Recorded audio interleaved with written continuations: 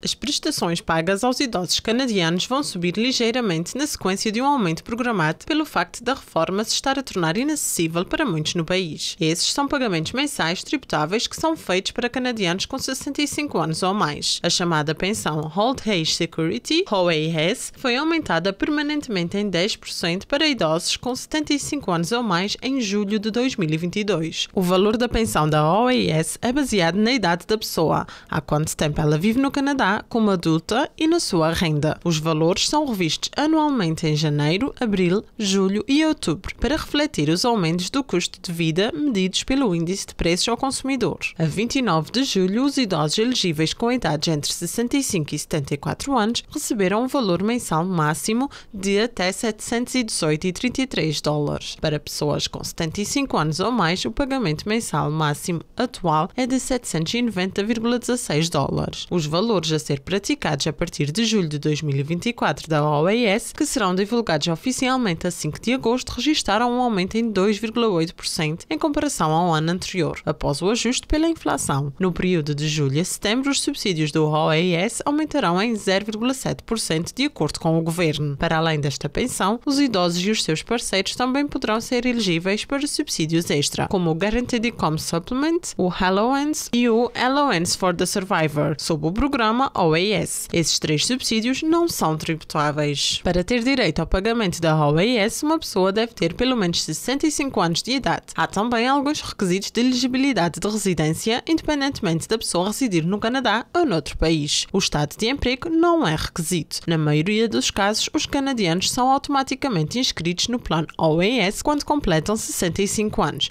mas caso não estejam inscritos, podem inscrever-se online ou pelo correio. O apoio já está disponível também para militares, agentes da Polícia Montada do Canadá e alguns agentes penitenciários.